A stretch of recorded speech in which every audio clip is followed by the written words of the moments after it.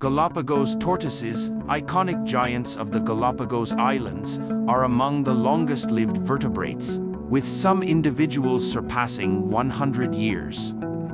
Their unique shell shapes and sizes have evolved to suit different island habitats.